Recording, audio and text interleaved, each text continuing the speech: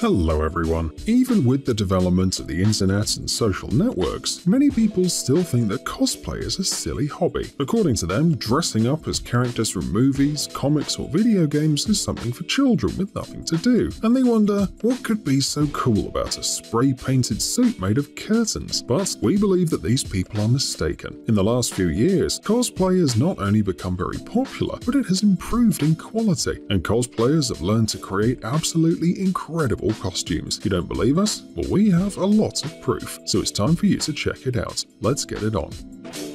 On the one hand, there are amateur cosplayers who are learning to create the outfits of their favorite characters. On the other hand, there is Beverly Downen. Not only does she create costumes and props from different movies, but she also makes video tutorials where she explains each stage of her work, all in order to share her experience and inspire beginners. One of Beverly's best works is the Wasp suit. When Marvel asked her to recreate this costume for Marvel Becoming, Beverly promised to do her best, and she created a real masterpiece. The suit had perfect proportions, incredible textures, and was completely handmade, including the accessories and the wings. It was a very big and very complex project, but the result was definitely worth it.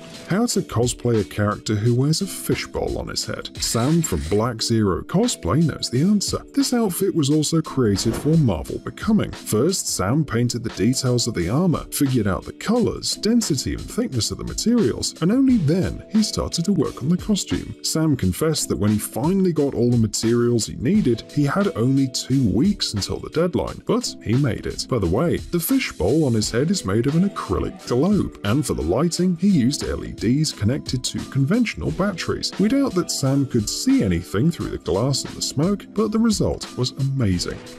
Becoming Thanos is not an easy challenge. In addition to creating clothes using materials at hand, you need a purple face and a large chin. However, Lee Hurley admits that he likes to make things that are computer generated in the movies. It's hard, but exciting. For this reason, after designing Groot's suit, he decided to become Thanos. Lee started with the head, which is the trickiest part. To reach the height of Thanos as well, the cosplayer bought platform boots and then added an extra base to them at home. Not the most convenient option, but the result was perfect. To sew the new clothes, Lee enlisted the help of his mother-in-law and his wife's grandmother, but he created everything else on his own.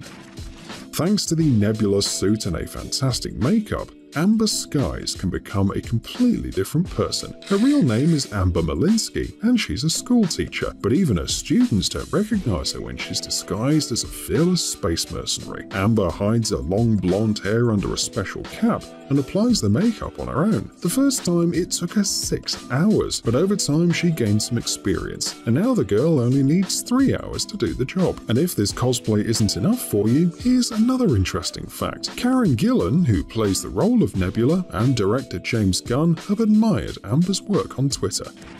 For the Marvel Becoming event, Jessica Dru Johnson picked Hela from Thor Ragnarok. The suit is mostly made of pieces sewn together, because Hela doesn't wear any armor or anything like that. Why would she? But the real problem was the helmet. It is a fancy helmet with a ton of detail, which is pretty hard to build on your own. The cosplayer used a 3D printer and a special material, PCTPE nylon. After all, the design couldn't have been too heavy, otherwise it would have been very difficult to hold it on the head. Was the result worth it? Definitely.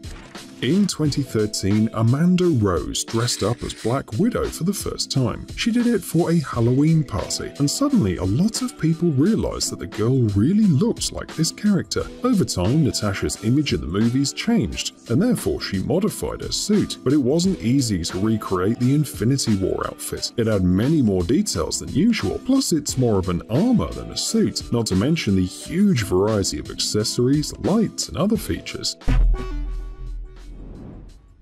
Amanda used a 3D printer for the first time to create the details of Black Widow's weapon. Chris Burns has a similar surname to Bucky Barnes, better known as the Winter Soldier. Fortunately, Chris didn't have to amputate his arm to pull off this cosplay. First, he had to mold his real arm by wearing a plaster cast for several hours. Then he used this mold to create a foam latex sleeve. Compared to this cybernetic arm, the rest of Bucky's suit looks pretty simple, but it took the cosplayer about four months to create the entire suit. It was a collaboration of several artists who joined forces to create the Winter Soldier costume. Zeech Evangelista, winner of the Game of Thrones cosplay contest at Asia Pop Comic Con Manila 2017, appeared in a Night King costume. Even if you've never seen this TV show, you probably know this blue-faced villain. Zeech has been cosplaying since 2009, and at first he created his costumes with his mother's old clothes, but over time he grew into a real pro. The Night King costume is made of rubber and leather, and the mask was first made of clay and only later filled with latex. To make his eyes glow blue, Zeech added blue LEDs to the mask, and he also wears contact lenses, which make the costume really creepy.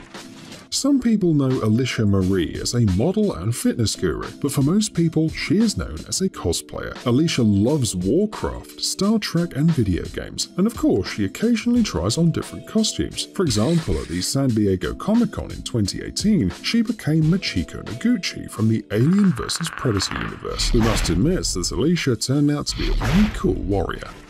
Joker, Sarah Connor, The Raven, Pennywise. Jess Herline has done many cosplays, and although most of them are based on an excellent makeup, we have to admit that Jess is very talented and continues to grow as an artist. It's not that hard to make funny clown pants, even your grandmother can help you out, but not anyone can recreate the Pennywise look and make you feel uneasy.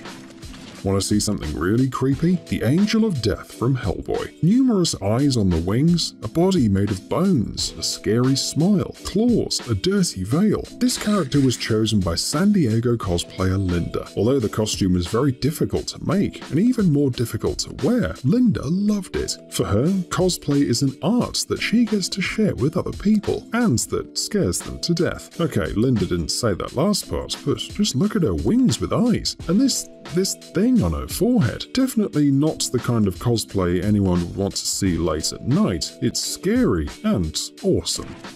When you have long hair and a large beard, you won't have any problems to cosplay a Viking, like the ones in the famous series, or Aquaman, like this guy from Britain, whose name we unfortunately couldn't figure out. But he looks great even in these gold scales and his green shoes.